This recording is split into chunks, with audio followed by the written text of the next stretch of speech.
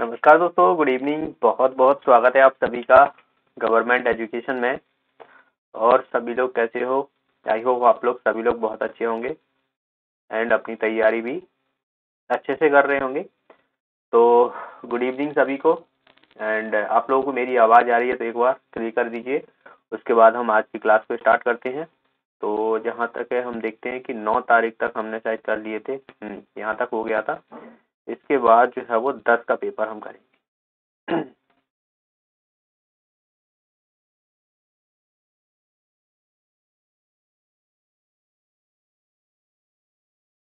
तो चलो भाई, आज की क्लास को स्टार्ट करते हैं और पहला क्वेश्चन आपके सामने होगा। आंसर करना है हर बड़ा आत्म चीज़ें नहीं करना है।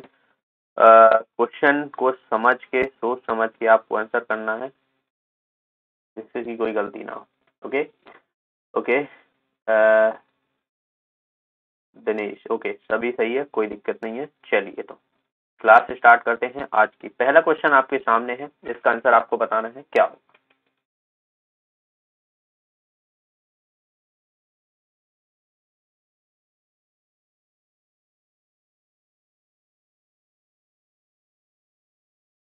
Good evening good evening Saurabh Priya हर हर महादेव चलिए तो पहला क्वेश्चन है, इसका आंसर बताइए, क्या होगा? उस नदी का चुनाव करिए, जिसका मूल स्थान भारत में नहीं है। यानी जो, इसमें से कौन सी ऐसी नदी है, जो भारत में ऑरिजिनेट नहीं होती है, या भारत से नहीं निकलती है? मतलब भारत से होके जो है, वो क्रॉस तो होती है, लेकिन ऑरिजिनेट होना जो है, वो एक अलग बात होती है, कि कहाँ से जो है, वो निकलती है। ऑप्शन है यहाँ पर, सतलज रिवर रावी चिनाब और ब्यास। इनमें काफ़ी कंफ्यूजन होता होगा आपको। मैं थोड़ा सा आपको ट्रिक के माध्यम से इनको याद कराने की कोशिश करूँगा, जिससे कि आपको याद हो जाएँगे। तो फ़िलहाल आप आंसर कीजिए। इसका आंसर क्या हो जाएगा? कि भारत में जो है वो ऑरिजिनेट नहीं होती है। ए ऑप्शन बिल्कुल सही, यहाँ पर हमारे पास आंसर आ चुका है। मनीषा का ए ऑप्शन जो है वो इसका आंसर हो जाएगा। ये दरअसल आपको तिब्बत वाला जो क्षेत्र है, वहाँ से निकलती है ना? तिब्बत। तिब्बत मान सरोवर। तिब्बत मान सरोवर वाला क्षेत्र है तो वहाँ से जो है वो इसका आंसर हो जाएगा। ओके तो इसका आंसर हो जाएगा सतलुज रिवर। तो सतलुज रिवर। देखिए, बाकी के मैं याद रखने के लिए आपको ट्रिक जैसे कि रावी आपसे पूछ लिया है तो रावी जो है ये रोहतांग रोहतांग दर्रा से निकलती है है ना? तो ये आपको इंडिया में ही देखने को मिलेगा, रोहतांग दर्रा हो गया, चेनाब। चुनाव चुनाव जो है वो बाड़ा, बाला, बाड़ा, लाचा। लाचा दर्रा से निकलती है। ठीक है ना? बाड़ा, लाचा दर्रा से निकलती है और ब्यास हो गया, ब्यास कुंड से निकलती है। ब्यास हो गई जो है, ब्यास कुंड से निकलती है, कुंड से। तो ये सभी आपको मध्य भारत में देखने को मिलेंगे। लेकिन आपको सतलुज जो है वो तिब्बत वाला, जो कि चाइना के क्षेत्र के अंतर्गत देखने को मिलता है तो इसका आंसर हो जाएगा हमारा ए ऑप्शन ओके तो आगे से याद रख लेना है। अब इसको याद रखना है। देखिए, यहाँ पर रावी में रा आ रहा है और रोहतांग में भी आपको रा देखने को मिलता है। चुनाव चुनाव। देखिए, चुनाव जब आते हैं, आपको पता है कि मध्य प्रदेश में अगले साल चुनाव है। तो बड़े बड़े वादे किए जा रहे हैं। हर हफ़्ते में आपको न्यूज़ देखने को मिल जाएगी कि एक लाख पदों पर भर्तियाँ चालीस हज़ार पदों पर भर्तियाँ ये वो। तो चुनाव के समय बड़े बड़े वादे किए जाते हैं। तो बाड़ा लाचा दर्रा, है ना? तो चुनाव में बड़ा, यानी बड़ा जो है वो वादे किए जाते हैं। तो ब्यास और ब्यास कुंड तो ब्यास ब्यास कुंड से ही जो है वो आपको याद रख लेना है तो इसमें कोई ज़्यादा चीज़ें नहीं है। ओके नेक्स्ट क्वेश्चन आपके सामने है।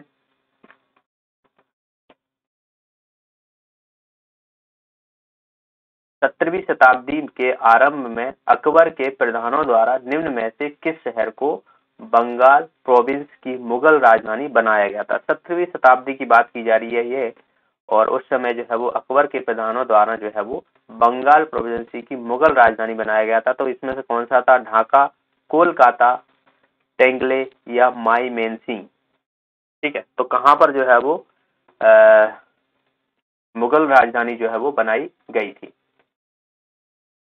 Good evening good evening BK PK Chanda, okay? चलिए तो इसका आंसर दरअसल हो जाएगा हमारा ढाका में, ठीक है ना? ढाका में, जो कि आपको बांग्लादेश में देखने को मिलता है अब। तो इसका आंसर हमारे पास होगा फ़र्स्ट ऑप्शन। फ़र्स्ट ऑप्शन होगा इसका आंसर, याद रख लेना है। बांग्लादेश तो बांग्लादेश। आपको पता हो तो रंगून वाला क्षेत्र जो बर्मा में था तो आखिरी जो मुगल शासक था, बहादुर शाह ज़फ़र द्वितीय जो था उसको रंगून में जो है वो भेज दिया गया था, और वहीं पर मृत्यु हो गई थी। तो ये भी कई बार पूछ ले जाता है तो इसको आपको याद रख लेना है। और ये अकबर की बात की जा रही है तो उस समय ढाका था, बांग्लादेश। आपको पता हो तो 1905 में जो है वो बंगाल विभाजन हुआ था। बंगाल विभाजन। बंगाल विभाजन हुआ था उस समय जो किसके कार्यकाल के दौरान? Lord Curzon. लॉर्ड कर्जन जो था, उस समय जो है वो बंगाल का विभाजन हुआ था और इसको जो है वो पूर्वी बंगाल और आसाम एक क्षेत्र डिसाइड किया गया था और एक पश्चिमी तो दो भागों में जो है बांट दिया गया था बंगाल को, ठीक है? तो अगर आपसे पूछ लिया है कि बंगाल का विभाजन जो है वो कितने पार्टों में हुआ था, दो पार्टों में हुआ था। सर एमपी की हिस्ट्री समझ नहीं आती है, कैसे पढ़े? एमपी की हिस्ट्री में आप सिंपल सी चीज़ें हैं कि आप वंश वाइज पढ़ो अगर आप वंशों की बात कर रहे हो, जो शासक रहे हैं तो एक एक शासक करके जो है वो पढ़ोगे तो आपको ज़्यादा डिफिकल्टी नहीं होगी। अगर आप सारे ही एकदम से कर दोगे तो वो चीज़ें दिक्कत हो जाएँगी आपको है ना? तो ढाका इसका आंसर हो जाएगा। बाकी मैं हिस्ट्री आपको पढ़ा दूँगा। हिस्ट्री आ, मैं मोस्टली ज़्यादा क्वेश्चन तो नहीं देखने को मिलती फिर भी हिस्ट्री से आपको क्वेश्चन देखने को मिल जाते हैं। ठीक है? तो हिस्ट्री में मैं आपको टॉपिक वाइज कराऊँगा। मुझे जैसे ही जो है वो टाइम मिलेगा तो फ़िलहाल तो हम जैसे ही ये खत्म होता है प्रीवियस ईयर के क्वेश्चन पेपर तो दो बचेंगे, इसके बाद दो क्लासेस और रहेंगी, उसके बाद हम एमपी करंट अफेयर्स देखेंगे। और उसके साथ स्टैटिक भी देखते चलेंगे, क्योंकि करंट अफेयर्स भी आपको करना है, क्योंकि पिछले जो मैंने छोड़ा था, मुझे याद भी नहीं है तो वो मुझे देखना पड़ेगा कहाँ से छोड़ा था, और वहीं से मैं आपको करंट अफेयर्स स्टार्ट कराऊँगा। मध्य प्रदेश का कौन सा स्थान नृत्य के महोत्सव के लिए जाना जाता है? नृत्य महोत्सव के लिए जाना जाता है ओरछा, खजुराहो, चंदेल चंदेरी या भोपाल। इसका आंसर क्या हो जाएगा? नृत्य महोत्सव, आपको पता हो तो कहाँ पर होता है? जिसे हम खजुराहो नृत्य समारोह भी बोलते हैं ना? तो इसका आंसर हो जाएगा हमारे पास बी ऑप्शन तो प्रिया रंजीत। बी ऑप्शन जो है वो इसका आंसर हो जाएगा। वेरी गुड तो देखिए, खजुराहो को सबसे पहला तो यही याद रख लेना है, जिसकी स्थापना कब हुई थी। तो मैं खजुराहो के बारे में आपको सारी चीज़ें रिवाइज करा रहा हूँ। याद रख लेना है। पहली बात तो बना कब हुआ था? तो 950 से 1050 ईस्वी के दौरान अगर शताब्दी पूछ लिया तो ग्यारहवीं शताब्दी में जो है बना था। शताब्दी, ठीक है? तो इसको याद रख लेना, किसके द्वारा? चंदेल शासकों के द्वारा जो है वो बनवाया गया था। पंचायतन शैली में है ये, पंचायतन शैली में बने हुए हैं। तीन भागों में इनको विभाजित किया गया है। कितने भागों में? तीन भागों में विभाजित किया गया है। तीन भाग कौन से हैं? पूर्वी, पश्चिमी और दक्षिणी। ठीक है ना? तीन भागों में, पूर्वी में कौन कौन से मंदिर आते हैं? एक तो पार्श्वनाथ का मंदिर, पार्श्वनाथ का मंदिर, नाथ मंदिर और आदिनाथ मंदिर। ठीक है? आदिनाथ मंदिर। और अगर हम दक्षिण की बात करें तो इसमें आपको चतुर्भुज मंदिर चतुर्भुज मंदिर देखने को मिलेगा और दूला देव का मंदिर। दूला देव का मंदिर देखने को मिलेगा बचा पश्चिमी। पश्चिमी में आपको बाकी के जितने भी बचे हुए हैं, वो है। जैसे कि कंदरिया महादेव का मंदिर, कंदरिया महादेव हो गया, लक्ष्मण मंदिर हो गया, लक्ष, लक्ष्मण मंदिर, ठीक है, चित्रगुप्त मंदिर चित्रगुप्त मंदिर जो सूर्य देव को जो है वो सूर्य देव को समर्पित है, चित्रगुप्त मंदिर, कदरिया महादेव का मंदिर, ठीक है। तो ये सब जो है वो आपको याद रख लेना है, बाकी के जितने भी बचे हुए हैं। तो और भी हैं तो बाकी जब दो चीज़ें याद रख लो, बाकी के जितने भी बचे आपको पश्चिमी में लगा देना है सीधा सीधा सा। ठीक है, यूनेस्को में इसको कब शामिल किया गया था? 1986 में यूनेस्को की विश्व धरोहर में शामिल किया गया था। ठीक है, खजुराहो आपको देखने को मिलेगा छतरपुर में तो इसे भी आपको याद रख लेना है, छतरपुर में जो है वो खजुराहो। और यहीं पर आपको पता हो तो हीरा संग्रहालय, हीरा संग्रहालय जो है वो स्थापित किया जा रहा है खजुराहो में तो इसे भी आपको याद रख लेना है। खजुराहो नृत्य समारोह। अगला क्वेश्चन है, हिंदी कविता की रचनात्मक संरचना के क्षेत्र में दिया जाने वाला उत्कृष्ट सम्मान कौन सा है? बताइए इसका आंसर क्या होगा। ओके चलिए बताइए इसका आंसर क्या होगा।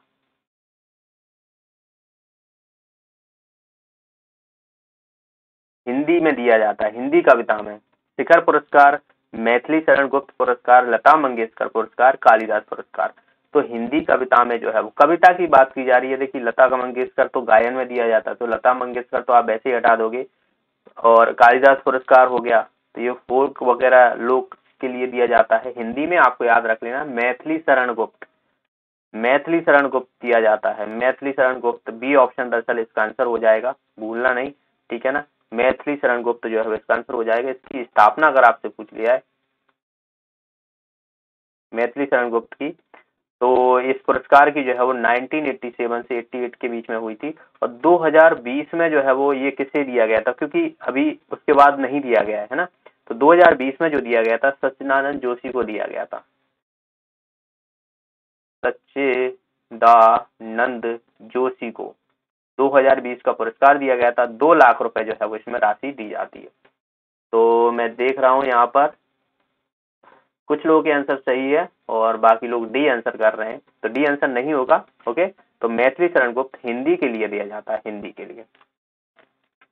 अगला क्वेश्चन है कि मध्य प्रदेश के उस्ताद आमिर खान किस कला विद्वान से, की विद्यमान है? ठीक है? उस्ताद आमिर खान सहनाई के, ख्याल के सरोद के या ध्रुपद के। तो जो आपको उस्ताद अमा आमिर खान किस से संबंधित है, किस कला से संबंधित है? सहनाई ख्याल सरोद या ध्रुपद ठीक है? उस्ताद आमिर खान उस्ताद आमिर खान ये किस घराने से संबंधित है? तो पहला तो आपको यही याद रख लेना है। उस्ताद आमिर खान। तो ये इंदौर घराने से संबंधित है। इंदौर घराने से संबंधित है। हमारे पास आंसर आ चुका है इसका सी ऑप्शन देखिए, यहाँ पर कला विद्वान से पूछा गया है, सरोद नहीं होगा, इसका आंसर हो जाएगा ख्याल गायन से संबंधित है है ना? ख्याल गायन से संबंधित है तो शायद आपको जो है वो उस्ताद अलाउद्दीन खां, वो अलग है, ये आमिर खां अलग है, ठीक है ना? तो ये इंदौर घराने से संबंधित है और ये ख्याल गायन के लिए जाने जाते हैं। ठीक है खयाल गालिक और एक और याद रख लेना। दो चीज़ें आपसे पूछी जा सकती हैं। ठीक है? एक ख्याल ख्याल एवं तराना शैली। तराना शैली, ओके? तो बी ऑप्शन आ चुका है हमारे पास, फैजान का। बिल्कुल सही, यहाँ पर बी ऑप्शन जो है वो इसका आंसर हो जाएगा। तो ख्याल, गायन याद रख लेना। ये काफ़ी कंफ्यूजन वाले होते हैं, देखिए आप रिवाइज करते रहना पर। अगर आप रिवाइज नहीं करोगे तो भूल जाओगे। क्योंकि काफ़ी कंफ्यूजन होती है आ, कौन से किस वाद्य से संबंधित है। वैसे तो मैं समय समय पर आपको रिवाइज रिविजन जो है वो कराता रहता हूँ। फिर भी आप रिवाइज कर लिया करो खुद से एक बार ठीक है? एंड मैं एक शुरू में जो है वो एक छोटी सी क्लिप डाला करूँगा वीडियो के में जिसमें जो भी मध्य प्रदेश की स्टैटिक जी के जैसे कि गायन हो गए लोक नृत्य हो गए लोक नाट्य हो गए है ना? किस किस क्षेत्र में जो है वो गाने जाते हैं और अन्य जो हो गई तो वो आपको छोटी सी क्लिप बहुत हेल्पफुल रहेगी। शुरुआत में मैं जो है वो उसको चलाया करूँगा, है ना? तो वो आपको रिवीजन करने में हेल्प करेंगी देन उसके बाद हम क्लास स्टार्ट करेंगे। तो फ़िलहाल इसका आंसर बताइए हमारे पास। सी सी सी सी बिल्कुल, ये तो लाडली लक्ष्मी योजना जो है वो शुरू की गई थी। ये उस समय जो है वो मध्य प्रदेश सरकार ने शुरू की गई थी। तो याद रख लेना, पंख अभियान अभी याद रख लेना, पंख पंख अभियान। ठीक है ना पंख अभियान जो कि आपको पता हो तो 24 जनवरी जो बालिका दिवस होता है उस समय जो है ये आ, इसकी शुरुआत की गई थी आरंभ किया गया ठीक है तो इसका आंसर हो जाएगा सी ऑप्शन। ये फेस्टिवल है तो इसे आप रहने दो ठीक है ना। ये 2016 का है तो कुछ मतलब नहीं है इसका करने से। अगला क्वेश्चन आपके सामने जनगणना। बहुत ही इंपॉर्टेंट टॉपिक है जनगणना। मध्य प्रदेश की जितनी भी जनगणना से संबंधित चीज़ें हैं याद रखना है, बाकी मैं यहाँ पर आपको बताऊँगा। ठीक है 2011 की जनगणना के अनुसार मध्य प्रदेश की शैक्षिक दर कितनी है? मध्य प्रदेश का जो लिटरेसी रेट है, वो सब कितनी है? सत्तर दशमलव छह ज़ीरो, छिहत्तर दशमलव छह ज़ीरो, तिहत्तर दशमलव आठ ज़ीरो या उन्यासी दशमलव एक ज़ीरो। तो कौन सा हो जाएगा?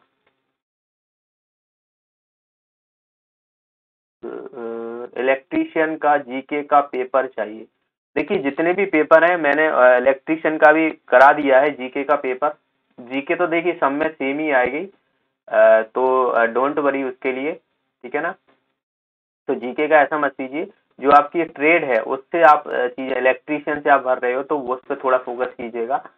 एंड जीके का मैंने डाल दिया है पेपर मैंने जितने भी हैं डाल दिए हैं। इसका भी मैं लिंक डाल दूँगा टेलीग्राम ग्रुप पे तो वहाँ से आप डाउनलोड कर लेना, ठीक है ना? बाकी के दो पेपर और बचेंगे।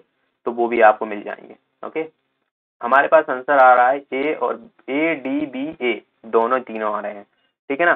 तो इसका आंसर हो जाएगा हमारा ए ऑप्शन ए ऑप्शन जो है वो इसका आंसर हो जाएगा दरअसल। थोड़ा अप्रोक्स आपको जाना है, वैसे तो 69 पॉइंट कुछ करके है, पर उसके आसपास याद रखिए 70 परसेंट तक याद रखिए ओके तो इसका आंसर हमारा हो जाएगा ए ऑप्शन अब देखिए, जनगणना से है, जितनी भी चीज़ें हैं, पहली बात तो जनगणना कब शुरू हुई थी? पहली जनगणना।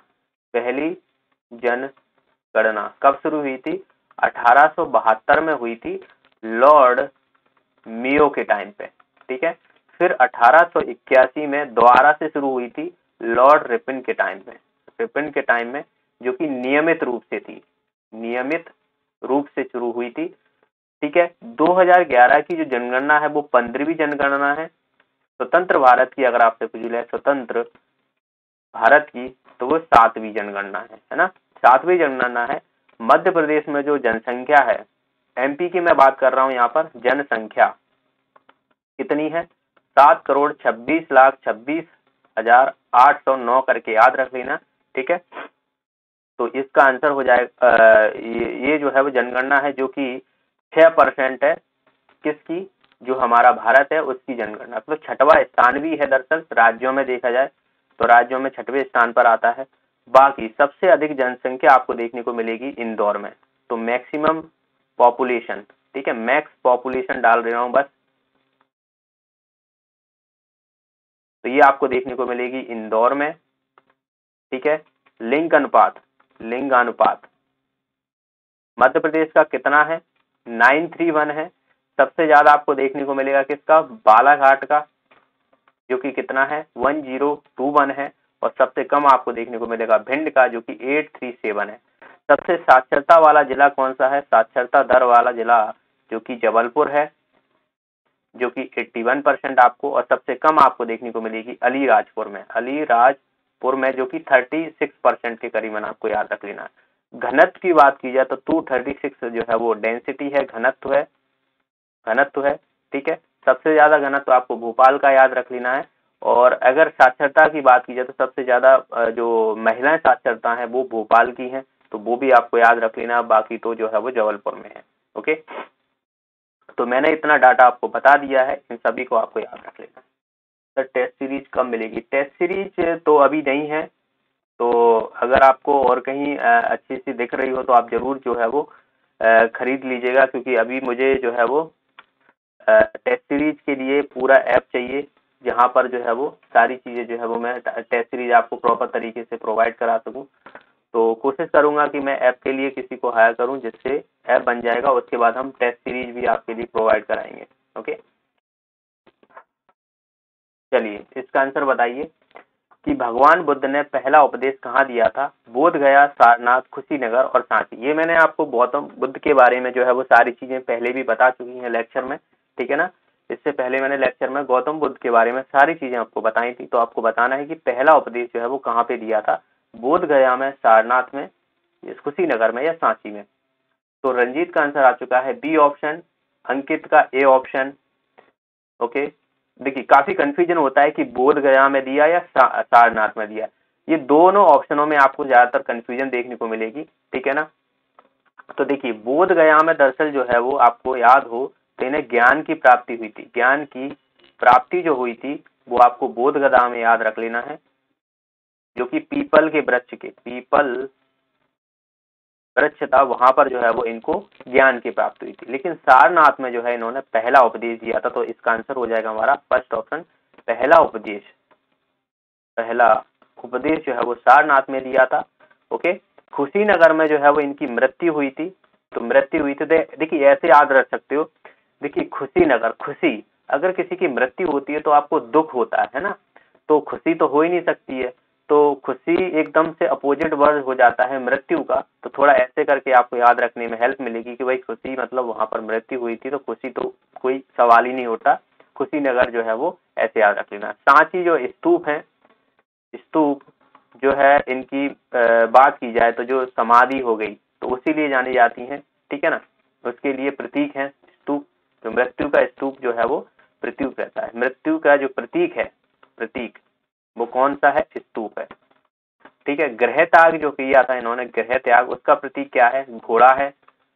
ठीक है ना? ज्ञान की प्राप्ति का मैं बता चुका हूँ, पीपल का वृक्ष हो गया। सार और कमल जो है, इनकी जन्म का जो है वो प्रतीक है तो वो भी आपको याद रख लेना है। तो इसका आंसर दरअसल हो जाएगा हमारा सेकेंड ऑप्शन गलत नहीं होना चाहिए आगे से ओके पारसियों का पवित्र ग्रंथ कौन सा? जो पारसी होते हैं, आपने देखा होगा तो उनका पवित्र ग्रंथ है। जैसे कि जैसे कि मुस्लिम लोगों का जो है वो कुरान होती है है ना? क्रिश्चियन लोगों की जो है वो बाइबल होती है। इसी तरीके से पारसियों का रहता है। हिंदू का तो आपको वेद हो गए, है ना? वेद हो गए, भगवत गीता हो गई तो वो पवित्र ग्रंथ होते हैं ना? वेद ग्रंथ होते हैं।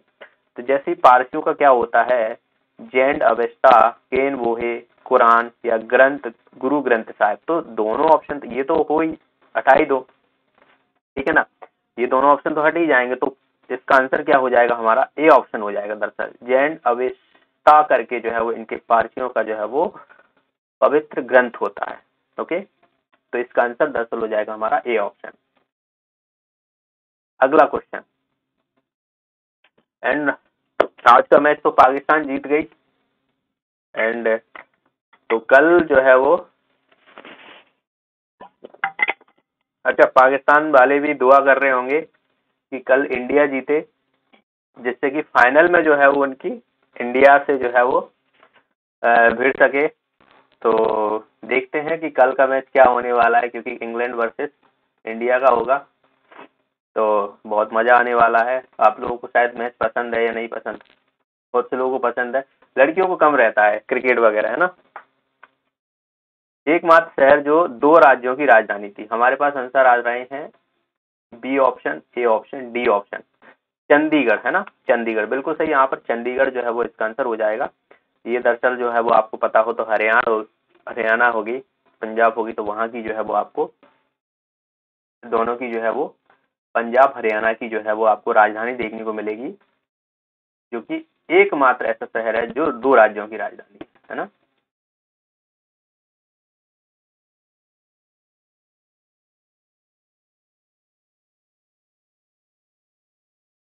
प्रीवियस ईयर के क्वेश्चन पेपर आएँगे यार देखिए क्वेश्चन पेपर देखिए स्टैटिक जी के है, वो आपको बदलेगी नहीं, है ना? स्टैटिक जी के आपको कभी बदलती नहीं है। मैं यहाँ पर जो भी इंफॉर्मेशन दे रहा हूँ एक्स्ट्रा दे रहा हूँ, है ना? वो चीज़ें आपको याद रख लेना बाकी करंट अफेयर्स जहाँ से पूछा गया है, उसको मैं स्टैटिक जी के वहाँ पर वो भी कराऊँगा। तो आप दो टेंशन मत लीजिए ओके सारी चीज़ें आपको यहीं से देखने को मिलेंगी। कोई ऐसा नहीं है कि अलग से कुछ भी देखने को मिल जाएगा, है ना? कुछ क्वेश्चन मान सकते हैं कि कुछ क्वेश्चन बाउंसर देते हैं वो लोग। तो वो सभी के साथ होता है। पर जो स्टैटिक है, अब भाई जो नदियाँ हैं एमपी की तो नदियाँ के बारे में जो इन्फॉर्मेशन है, वो नदियाँ से ही पूछेंगे। ऐसा तो है नहीं है कि कुछ नया कुछ नदियों में कुछ अलग से खोज निकालेंगे। तो ऐसा नहीं होता है। आप अपने आप पे भरोसा रखिए। अगर आपने अच्छे से जी के पढ़ी है, आपको सारी चीज़ें आती हैं तो बिल्कुल टेंशन मत लीजिए। खुद पर भरोसा रखो कि हाँ अगर मुझसे यहाँ से क्वेश्चन पूछ लिया जाता है तो मैं डेफिनेटली कर पाऊँगा उसको, है ना? इसका आंसर हो जाएगा डी ऑप्शन चलिए बताइए सार्क।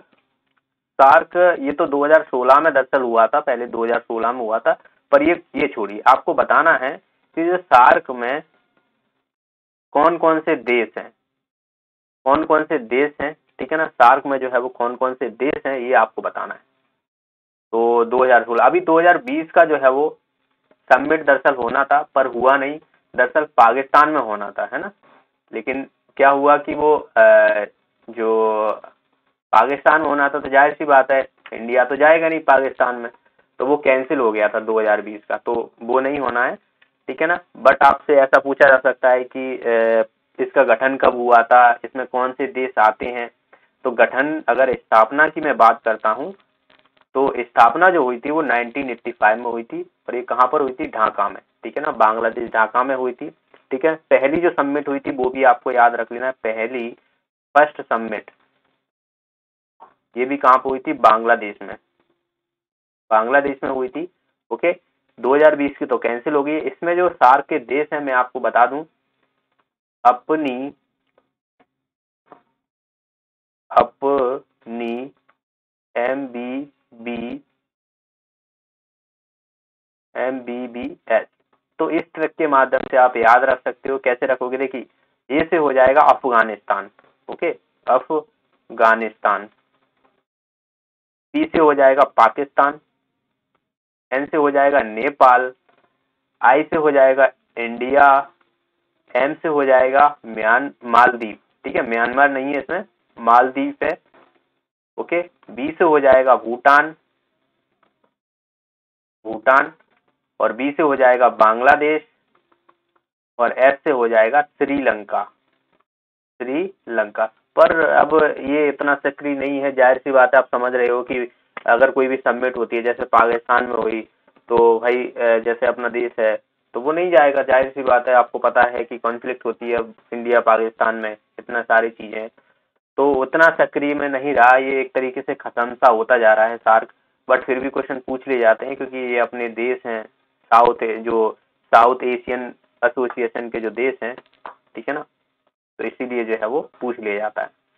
नेक्स्ट क्वेश्चन आपके सामने है, इसका आंसर बताइए कि उस स्थान का नाम बताइए जो अपनी ऑयल रिफाइनरी और ऑयल फ़ील्ड के लिए प्रसिद्ध है। ठीक है ना? ऑयल फ़ील्ड के लिए प्रसिद्ध है। तो डिब्रूगढ़ आसाम, गुवाहाटी आसाम, डिगबोई आसाम, गुवाहाटी, उत्तराखंड। तो बताइए। कहाँ पर जो है वो आपको देखने को मिलेगी? इसका आंसर बताना है आपको क्या होगा। एंड अभी तक जिसने भी वीडियो को लाइक नहीं किया है तो आप लोग वीडियो को लाइक कर दिया करें, क्योंकि आपका लाइक जो है वो हमें मोटिवेट करता है।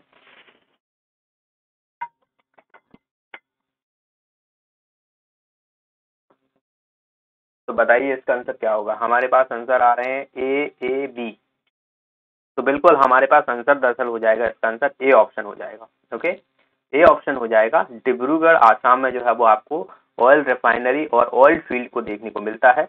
तो कभी कंफ्यूजन नहीं होना चाहिए। इसमें आपको आसाम में देखिए, याद रखना है। आसाम में वैसे तो मैं आपको याद दिलाई देता हूँ। मानस नेशनल पार्क हो गया और काजीरंगा। काजीरंगा, ठीक है? जो कि एक सिंह गैणा हाथी के लिए जाना जाता है। एक सिंह गैणा हाथी के लिए जाना जाता है तो कई बार ये क्वेश्चन पूछ लिया जाता है। आसाम में आपको जो है वो माजुली द्वीप देखने को मिलेगा। माजुली द्वीप देखने को मिलेगा जो कि ब्रह्मपुत्र नदी पर है। ब्रह्मपुत्र नदी पर है, जो कि विश्व का विश्व का अच्छा मेरे पास एक कमेंट आया था कि राइटिंग जो है वो सही से नहीं है। तो मैं कोशिश करता हूँ कि राइटिंग अच्छे से लिखने की। विश्व का सबसे बड़ा नदी द्वीप है ओके जो कि माजुली द्वीप है, जो कि ब्रह्मपुत्र आसाम में आपको देखने को मिलेगा। तो इसका आंसर हो जाएगा हमारे पास B option A option sorry A option होगा ओके ए ऑप्शन होगा।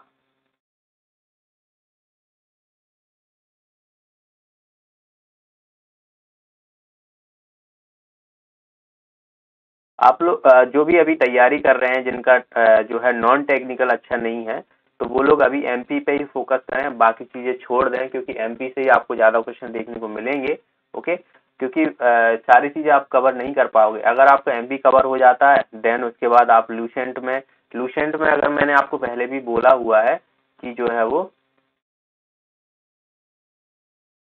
अच्छा इसका सॉरी सॉरी इसका आंसर जो है वो आपको डिगबोई हो जाएगा Digboi Digboi sorry sorry sorry इसका आंसर हो जाएगा डिगबोई डिब्रूगढ़ नहीं होगा, डिगबोई होगा, ठीक है?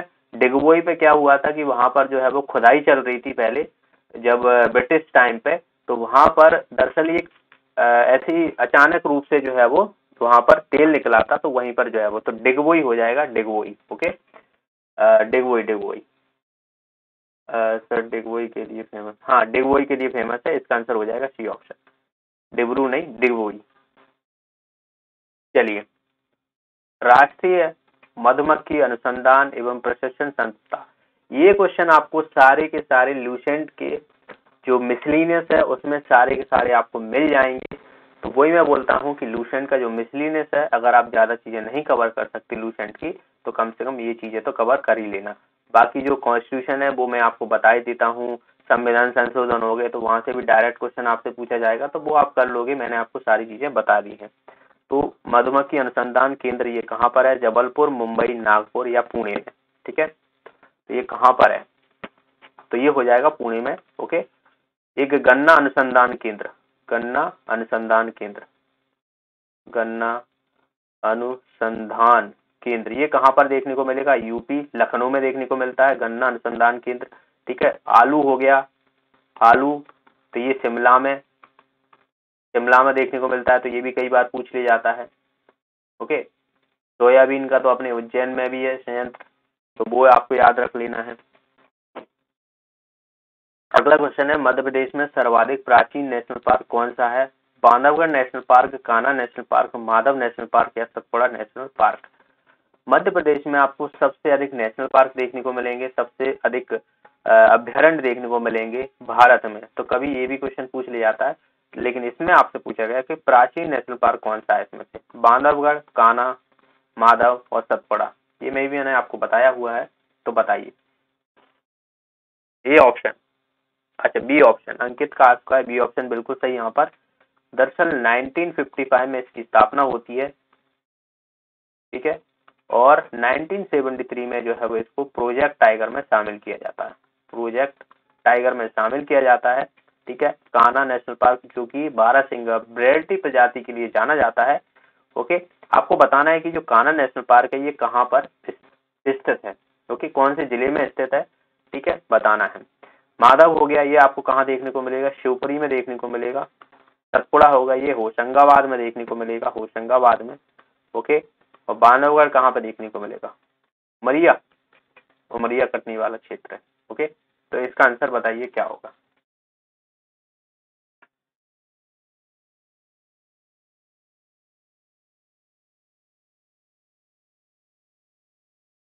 नहीं आया किसी का आंसर। भारतीय प्रजाति। सबसे छोटा कौन सा है? सबसे छोटा। सबसे छोटा है fossil national park fossil national park है जो कि कहाँ पर है? डिंडोरी में।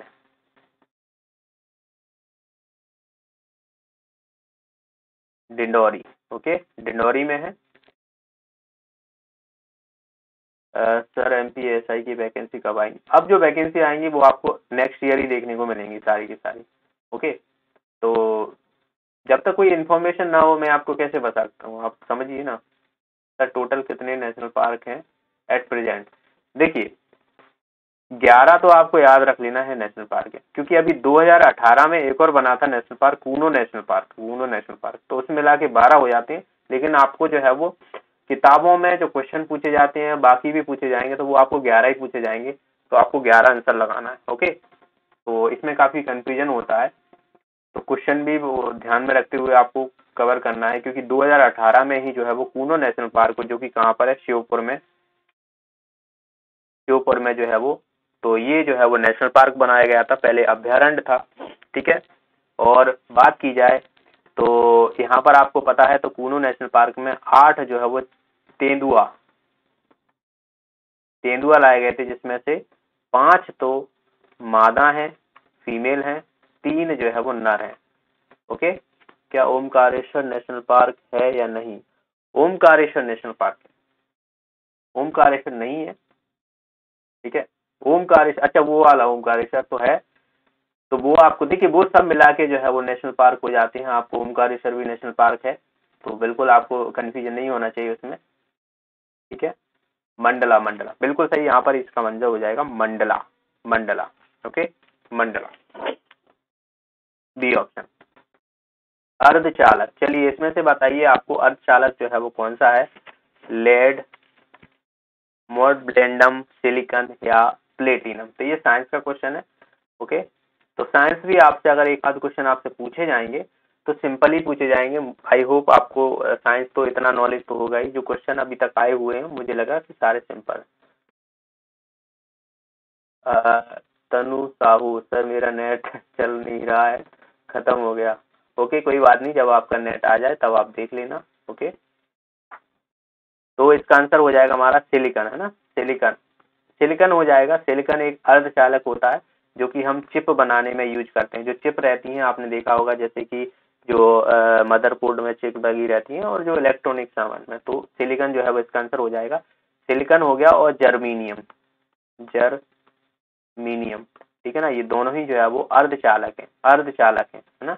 अर्धचालक जो है वो है। अगला क्वेश्चन आपके सामने है, और ये भी क्वेश्चन मैंने आपको कल ही बताया है शायद। आंध्र प्रदेश का शास्त्रीय नृत्य कौन सा है? कच्चीपुड़ी, कथकली, उड़ीसी या भरतनाट्यम? तो बताइए।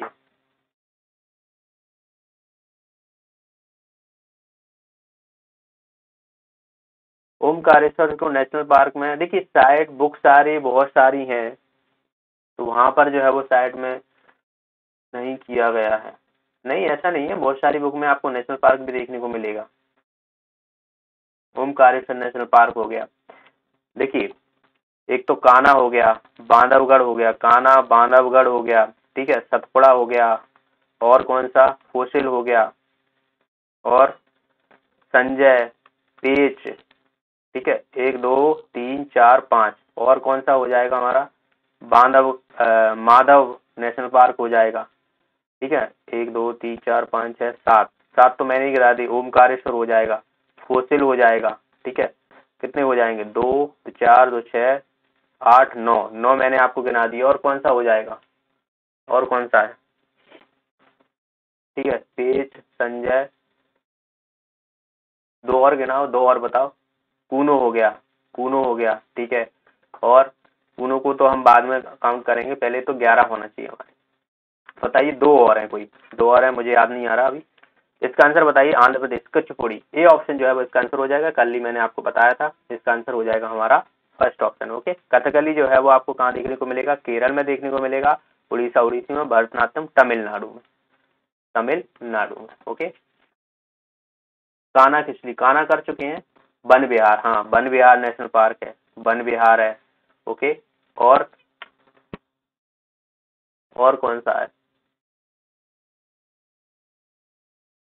विधानसभा का एग्ज़ाम है, सर, पता है क्या? नॉलेज, विधानसभा के एग्ज़ाम का भी कोई भी पता नहीं है, ठीक है?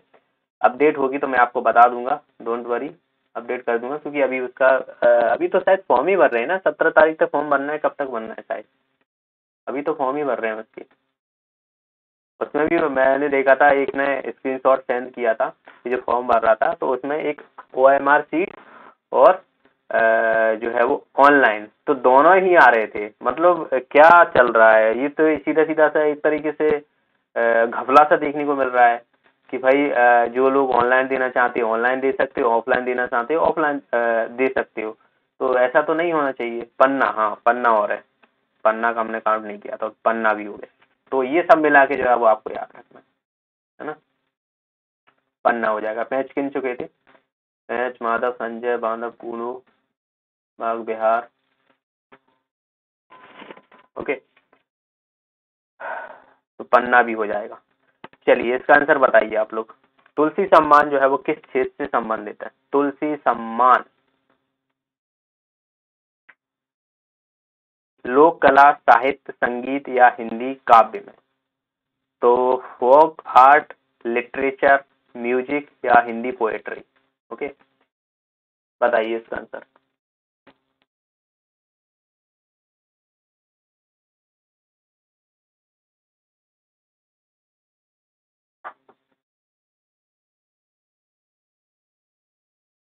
लिटरेचर ए ऑप्शन हो जाएगा इसका आंसर लोक कला ओके लोक कला में दिया जाता है लिटरेचर में नहीं दिया था तुलसी सम्मान ओके तो सम्मान भाई रिवाइज कर लेना, ठीक? मैं सम्मान पे भी वीडियो डालूँगा। शुरुआत में छोटे छोटे जो है वो एक एक दो दो मिनट के एक एक मिनट के रहेंगे तो वो मैं आपको डेली जो है वो उसको प्रोवाइड कराऊँगा लेक्चर से पहले। जैसे ही क्लास होती है तो लेक्चर से पहले, जिससे कि आपको रिविजन रहेगी ओके इसके जो है वो शुरुआत कब की गई थी? 1983 से 84 के टाइम पे शुरुआत की गई थी। अभी दरअसल 2020 में दिया गया है तिलक राम को। तिलक राम। तिलक राम को दिया गया है, ठीक है? तिलक राम याद रख लेना आगे भी और भी कुछ नाम है। तो तिलक नाम करके जो है वो, जैसे कि तुलसी है। तो कैसे कैसे याद रख सकते हो आप इसको? तुलसी है तो। तो तुलसी, जैसे कि आपको पता है, तुलसी की पूजा की जाती है ना? तो तुलसी और तिलक लगाया जाता है। तो तुलसी सम्मान जो है वो तिलक राम करके। तो ऐसे करके आप याद रख सकते हो। Good evening good evening Praveen तो ए ऑप्शन जो है इसका आंसर हो जाएगा। तो आई होप आप आप नहीं बोलोगे कि तुलसी हम पूजा करते हैं और तिलक लगाते हैं तो तिलक राम हो जाएगा ओके 2020 का सम्मान दिया गया था। 12 अप्रैल 1944 को नेताजी सुभाष चंद्र बोस द्वारा भारतीय झंडा फहराया गया था। तो कहाँ पर फहराया गया था? तो ये तो काफ़ी डिटेल में क्वेश्चन पूछ लिया गया है, मिजोरम, मणिपुर, मेघालय या नागालैंड में। तो उस समय जो है वो सुभाष चंद्र बोस ने 1944 में, देखिए सुभाष चंद्र बोस का एक तो त्रिपुरी अधिवेशन पूछ लिया जाता है। त्रिपुरा जो अधिवेशन हुआ था, अधिवेशन जो कांग्रेस, इंडियन नेशनल कांग्रेस का हुआ था, कब हुआ था? उन्नीस सौ उनतालीस में हरिपुरा। हरिपुरा, ठीक है ना? तो उस समय जो है अध्यक्षता जो की थी, वो किसके द्वारा की गई थी? नेताजी सुभाष चंद्र बोस के द्वारा की गई थी, ओके? तो ये दरअसल जो है मणिपुर हो जाएगा इसका आंसर ठीक है? मणिपुर ओके तो मणिपुर जो है वो याद रख लेना, इसका आंसर हो जाएगा मणिपुर में। मिजोरम मणिपुर ओके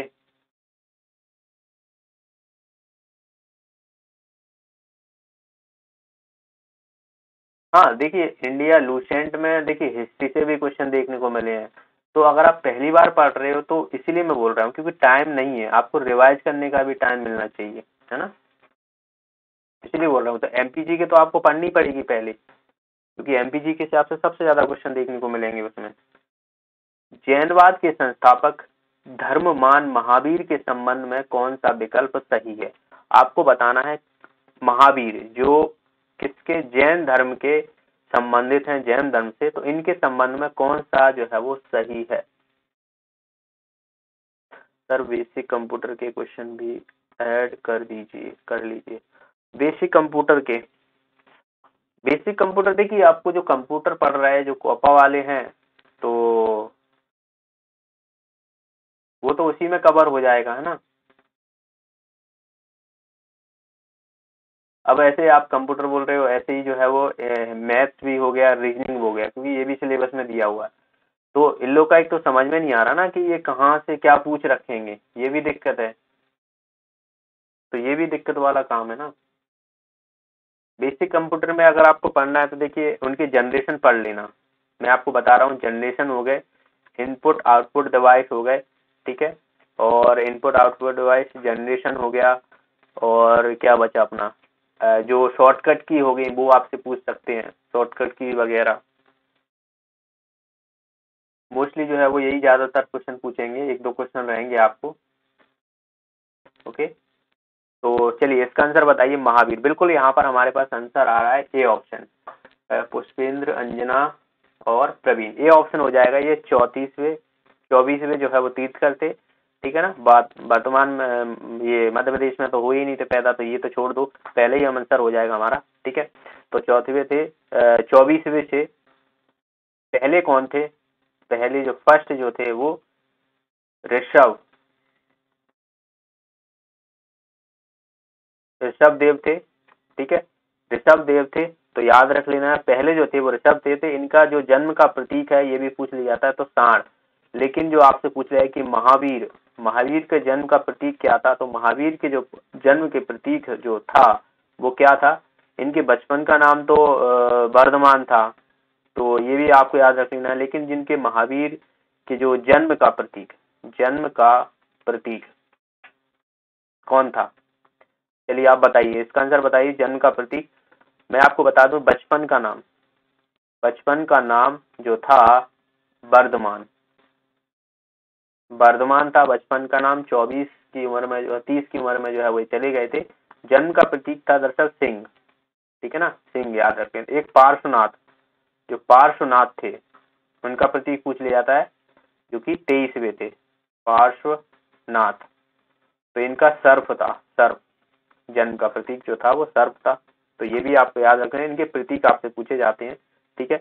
इन्होंने जो तपस्या की थी, महावीर ने, वो एक रुज पालिका नदी थी, वहाँ पर तपस्या की थी। वृक्ष अगर आपसे पूछ लिया तो साल का वृक्ष था तो वहाँ पर जो है इन्होंने ज्ञान की प्राप्ति हुई थी रिजु पालिका नदी के किनारे, ओके?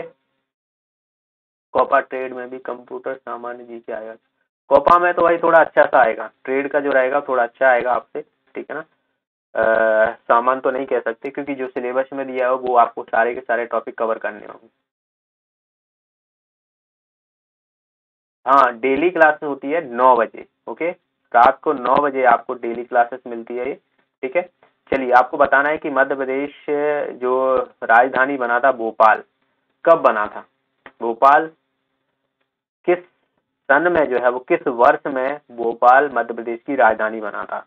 उन्नीस सौ बानवे उन्नीस सौ अड़तीस उन्नीस सौ छप्पन या उन्नीस सौ सैतालीस में। आपको पता हो तो पहले जो है वो मध्य प्रदेश की जो राजधानी हुआ करती थी जब भागों में बांटा गया था जैसे कि भाग का था तो उसमें महाकौशल वगैरह क्षेत्र हो गया है ना? महाकौशल हो गया।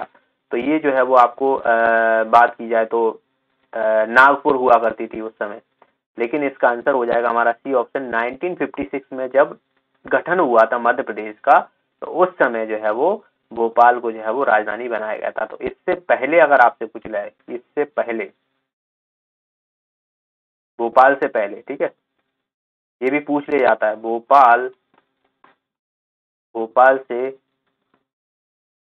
पहले नागपुर नागपुर हुआ करती थी राजधानी। जो कि अब आपको कहाँ देखने को मिलेगी? महाराष्ट्र में, जो कि ऑरेंज के लिए जानी जाती है। ऑरेंज सिटी के नाम से जानते एक नवंबर 1950 बिल्कुल। नेक्स्ट चलिए, आपको बताना है कि मध्य प्रदेश उच्च न्यायालय की बेंच कहाँ पर स्थित है? इंदौर, भोपाल, इंदौर, ग्वालियर। भोपाल और ग्वालियर, इंदौर, भोपाल, ग्वालियर। मेन जो पीठ है, वो आपको पता ही होगी सभी को। जबलपुर में है, ठीक है ना? मेन पीठ जबलपुर में है। लेकिन आपसे ये पूछा गया कि उसकी बेंच जो है वो खंडपीठ कहाँ पर है? जिसे हम खंडपीठ भी बोल देते हैं। खंडपीठ ये कहाँ पर है? भोपाल, इंदौर इंदौर ग्वालियर, भोपाल ग्वालियर या इंदौर, भोपाल ग्वालियर? बी ऑप्शन इंदौर और ग्वालियर हमारे पास आंसर आ चुका है अंजना का बी ऑप्शन दरअसल बिल्कुल सही, यहाँ पर आंसर हो जाएगा इसका इंदौर और ग्वालियर, ठीक है ना? इंदौर में और ग्वालियर में। दो जगह देखने को मिलेगी, भोपाल में नहीं है तो भाई भोपाल बिल्कुल भी लगा मत देना, क्योंकि भोपाल राजधानी सोच के नहीं, लगा देते हैं तो भोपाल नहीं है, भोपाल में कोई भी खंडपीठ नहीं है। इंदौर हो गया, ग्वालियर में होगा, वहाँ पर आपको देखने को मिलेगी, और मेन जो पीठ है वो आपको तो जबलपुर में देखने को मिलेगी। जबलपुर को न्यायिक राजधानी कहते हैं, क्योंकि वहाँ न्याय होते हैं मतलब ज़ाहिर सी बात है कि हाई कोर्ट है तो इसीलिए जो है वो। तो हाई कोर्ट में तो अभी केस भी चल रहे हैं ओबीसी के। ठीक है, बेंच क्या होते हैं? बेंच, देखिए, एक तो मैन होती है और खंडपीठ होती है। तो बेंच मतलब वही खंडपीठ, कि उसकी जो है वो नीचे की जो लेवल है, जैसे कि एक मैन होता है ना तो मैन आपको देखने को मिलेगा हाई कोर्ट, जो कि आपको जबलपुर में देखने को मिलेगा। लेकिन बाकी की जो हाई कोर्ट की जो नीचे रहेंगी, वो आपको इंदौर ग्वालियर में देखने की मान लीजिए कोई केस है, ठीक है ना, इंदौर में या ग्वालियर में चल रहा है तो यहाँ से अगर कोई संतुष्टि नहीं मिलती है तो वो अपील कर सकता है सीधे सीधे हाई कोर्ट में ओके तो वो हाई कोर्ट होता है। खंडपीठ आपको इंदौर और ग्वालियर में देखने को मिलेगी। अब ज़ाहिर सी बात है, सब लोग जबलपुर तो नहीं जा सकते ना तो ऐसे ही खंडपीठ बनाई जाती है उसकी। तो इंदौर में बनी है, ग्वालियर में बनी है, ये क्लास डेली चलेगी। बिल्कुल डेली क्लासेस होती है, नौ बजे क्लास होती है ना? अगला क्वेश्चन है, एलिफेंटा की गुफाएँ कहाँ पर है? मध्य प्रदेश, गुजरात, महाराष्ट्र या राजस्थान? तो एलिफेंटा की गुफाएँ आपको कहाँ देखने को मिलेगी? और अजंता की गुफाएँ? ये दो आप बताइए, अजंता की गुफाएँ। एक और बताइए, बिलौआ की गुफाएँ। बिलऊ बिलौआ की गुफाएँ। ये एमपी में कहाँ है? एमपी में बलुआ की गुफाएँ किस ज़िले में है, ठीक है ना? तो ये अजंता की तो सभी को पता होगा कहाँ पर है ये। एलिफेंटा की, अजंता की गुफाएँ। दोनों ही महाराष्ट्र में है। सी ऑप्शन हो जाएगा इसका आंसर कोई भी कंफ्यूजन नहीं होना चाहिए। अजंता की गुफाएँ ये गुप्त काल से संबंधित है। गुप्त काल से संबंधित है। उदयगिरी की गुफाएँ, उदयगिरी। ठीक है ना? मैं ऊपर लिख देता हूँ। उदयगिरी। की गुफाएँ। ये कहाँ पर है? भीम बेटका की गुफाएँ हो गई। भीम बेटका की गुफाएँ नहीं है चलचित्र के लिए जाना जाता है तो भीम बेटिका गुफाएँ भी मिल सकती हैं, या चलचित्र के लिए तो गुफाएँ, क्योंकि गुफाओं के अंदर ही देखने को मिल रहे हैं। तो ये आपको बताना है, पहले बिलुआ की गुफाएँ किस ज़िले में उदयगिरी की गुफाएँ और भीम बेटका की गुफाएँ, कहाँ कहाँ पर है? तो बिलुआ की गुफाएँ तो आपको ग्वालियर में देखने को मिलेंगी, ठीक है? उदयगिरी विदिशा में देखने को मिलेंगी और भीम बेट का जो है ये राजस्थान में देखने को मिलेगा। ठीक है? तो सारे ही आपको याद रख लेना। नेक्स्ट भारत का राष्ट्रीय पशु रॉयल बंगाल टाइगर है। इससे पहले कौन सा पशु था? ठीक है ना? भारत का राष्ट्रीय पशु जो था रॉयल बंगाल टाइगर है। ठीक है ना? इससे पहले पशु था। हाथी, शेर, गेंडा या बाइसन ठीक है ना? अब टाइगर है दरअसल, आपको पता हो तो टाइगर बाघ जो है वो, अब आपको जो है वो बाघ देखने को मिलेगा। ठीक है ना? इससे पहले कौन सा था? हाथी था, शेर था, गेंडा था या बाइसन था? लास्ट क्वेश्चन है। उदयगिरी की विदिशा, बिल्कुल। उदयगिरी की जो है वो विदिशा में देखने को मिलेंगी। जो कि ये भी गुप्त काल से संबंधित है, उदयगिरी की उपाय जो है वो। इसका आंसर शेर, बिल्कुल, जो पहले तो था, वो शेर था, लेकिन अभी आपको रॉयल बंगाल टाइगर देखने को मिलता है, भारत का राष्ट्रीय पशु, ओके? तो बी ऑप्शन होगा इसका answer B B B B option कुछ लोग सी भी कर रहे हैं तो सी तो हो ही नहीं सकता, गेंडा कैसे हो सकता गेंडा नहीं है, ठीक है? डी ऑप्शन जो है वो इसका आंसर हो जाएगा। बाकी के यहाँ से तो ये ये मैकेनिक मोटर व्हीकल वालों का ट्रेड का है तो ये हो गए आज के 25 क्वेश्चन एंड जिसने भी अभी तक वीडियो को लाइक नहीं किया है तो लाइक कर देना। जो नए हैं चैनल को सब्सक्राइब कर लेना।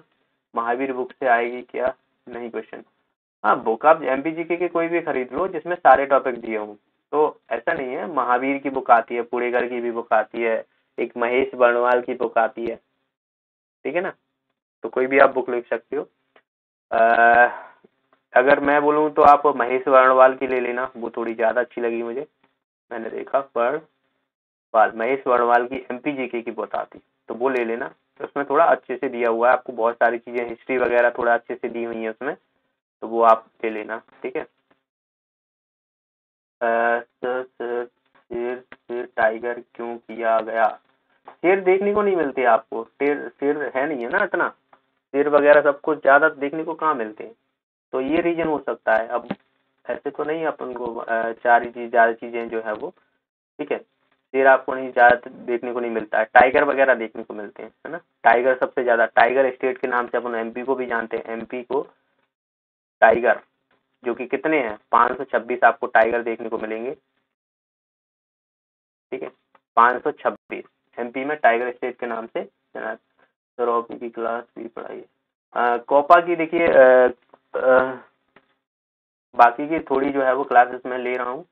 आपको रिकॉर्डेड प्रोवाइड करूँगा। तो नेक्स्ट जो रहेगी एम एस एक्सएल की रहेगी, क्योंकि एम एस एक्सएल से पूछे जाएँगे। ई कॉमर्स हो गया तो ई कॉमर्स सिंपल है, कोई दिक्कत नहीं है, वो भी मैं आपको करा दूँगा ई कॉमर्स में आपको पेमेंट के मेथड वगैरह सिक्योरिटी वगैरह, ये सब चीज़ें, ठीक है, मैं आपको प्रोवाइड करा दूँगा। चलिए तो मिलते हैं फिर नेक्स्ट क्लास में and thank you so much अच्छे से पढ़ाई मढ़ाई कीजिए आप लोग, और एक बढ़िया सी नौकरी मिले तो अलग ही मज़ा आएगा ओके चलिए गुड नाइट एंड रिवीजन करना बिल्कुल मत भूलना ओके रिवीजन बहुत ज़रूरी है।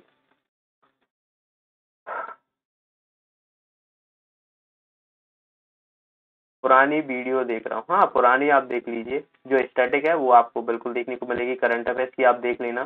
करंट अफेयर्स का तो आपको प्लेलिस्ट मिल जाएगी तो वहाँ से करंट अफेयर्स देख लेना। बाकी का, आगे का करंट अफेयर्स मैं वहीं से स्टार्ट करूँगा, जैसे ही ये खत्म हो जाएँगे प्रीवियस ईयर के क्वेश्चन तो प्रीवियस ईयर के क्वेश्चन खत्म होने के बाद, साथ में मैं आपको करंट अफेयर्स तो रहेगा ही और उसमें स्टैटिक रहेगा। तो दोनों चीज़ें, क्योंकि करंट अफेयर्स जहाँ जहाँ से पूछा गया जैसे कि करंट अफेयर्स आपको देखने को मिलेगा, जो अभी प्रधानमंत्री ने महाकाल लोक जो कॉरिडोर है, उसका उद्घाटन किया था।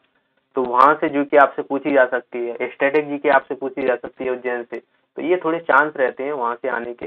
यही एक जो है वो पेपर सेट करने का तरीका होता है, जो भी पेपर सेट तैयार करता है ओके चलिए तो मिलते हैं। Thank you so much good night have a nice day